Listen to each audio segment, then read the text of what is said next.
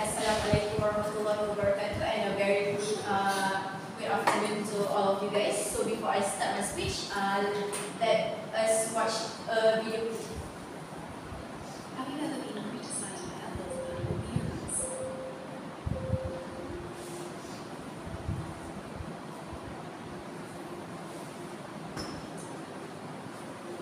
Been allergic, anxious about your body?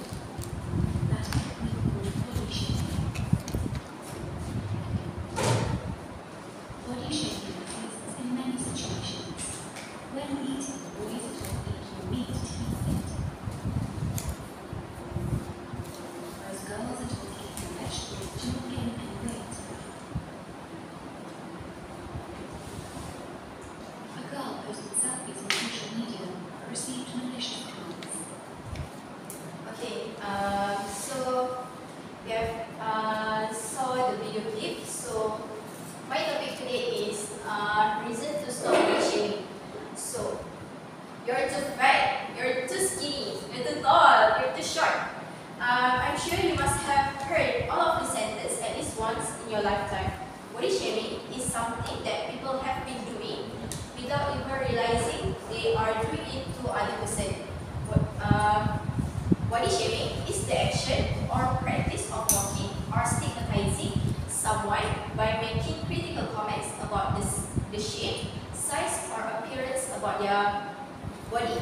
When you heard this criticism from someone, that will surely hurt your feelings. Body shaming needs to be stopped so that other people will not lose their confidence just because of the word that have been said about their insecurities.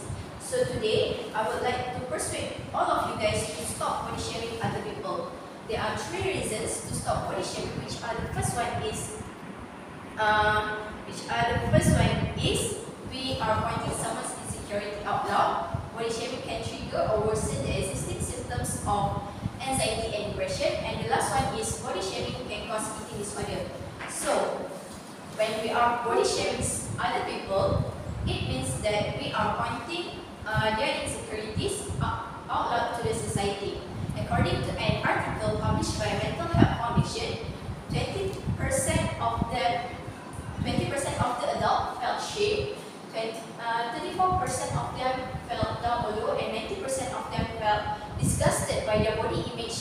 body shaming in the last year. Uh, these statistics were collected by survey that has been done by Mental Health, Mental Health Foundation and the collaboration with YouGov in March 2019.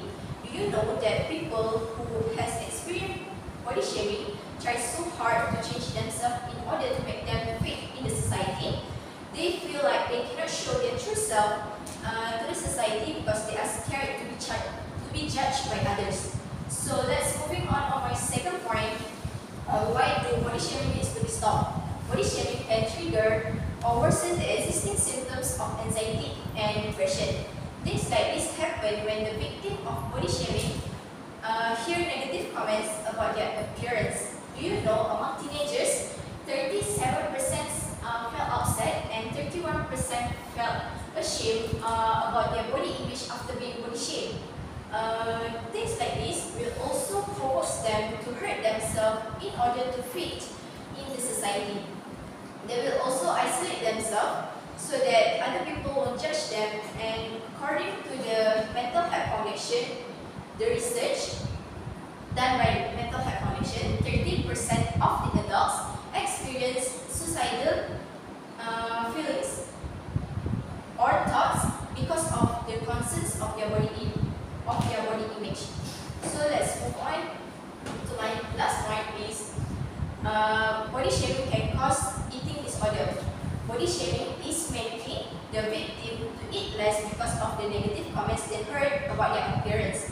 They are also scared to eat knowing that they will gain weight and those negative words uh, from other people are still haunting them. And they will also experiencing body dysmorphia that are caused by body shaming.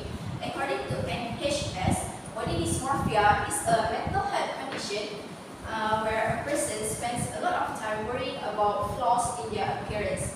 And according to the refugee website, 80% of 80% reports having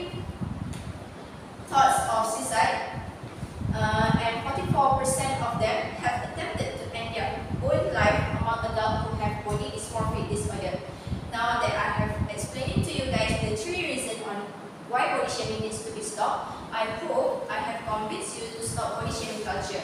Let me recall back my three main points on body shaming, which is the first one is we are pointing someone's insecurity out loud. Secondly, we are uh, it can trigger or worsen the existing symptoms of anxiety and depression. And the last one is body shaming can cause eating disorder. So now you shall think first before you speak something because it can be something hurtful to others. Remember, word cuts deep, so think before speaking. Whenever you feel that you are not worthy, just remember that Vera's trick say that don't waste so much time worry- worrying about your skin or your weight.